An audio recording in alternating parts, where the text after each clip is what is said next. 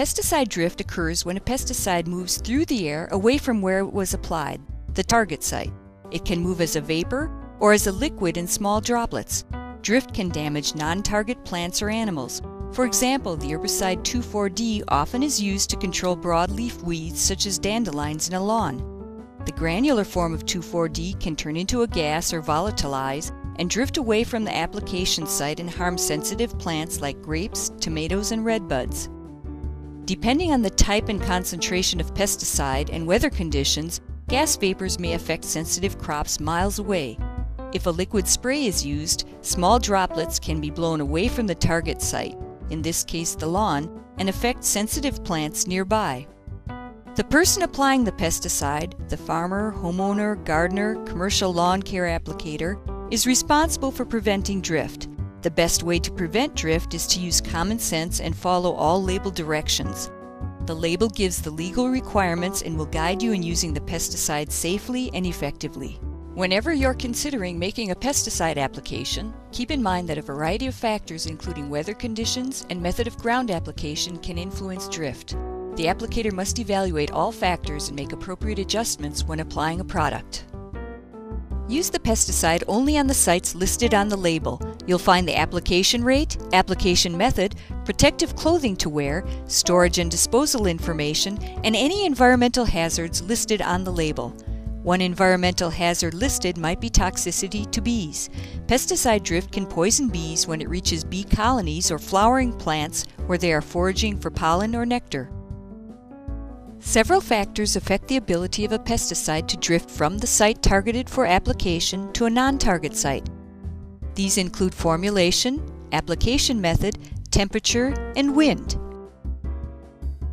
The formulation of a pesticide determines how that pesticide should be applied and the possibility of injuring non-targets. For example, the herbicide 2,4-D can be purchased as an ester or an amine.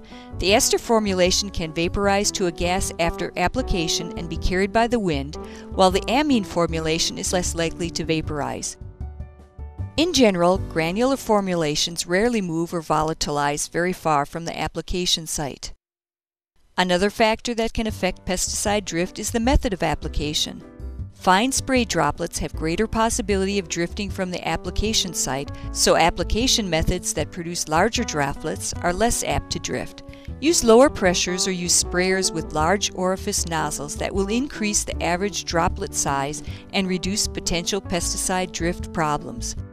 The pesticide label may list required or suggested pressure or nozzle sizes. In addition, try to apply the pesticide as close to the target as possible.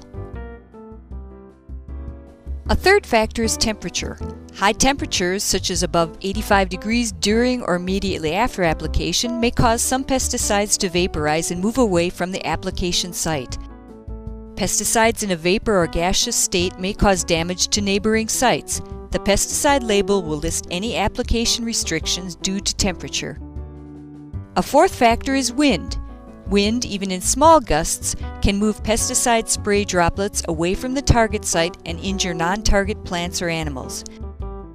Mix and apply pesticides only when winds are calm, between 3 and 10 miles per hour or whatever the label says. If you are near a site containing plants or animals that are sensitive to the pesticide, Make sure that any slight wind is blowing away from that sensitive site. And as mentioned before, larger droplets and spraying closer to the target can reduce the chance of drift.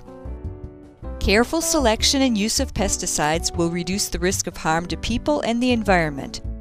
Read the label before you purchase and before you use a pesticide. I'm Jan Hygnstrom with the University of Nebraska Extension Pesticide Safety Education Program.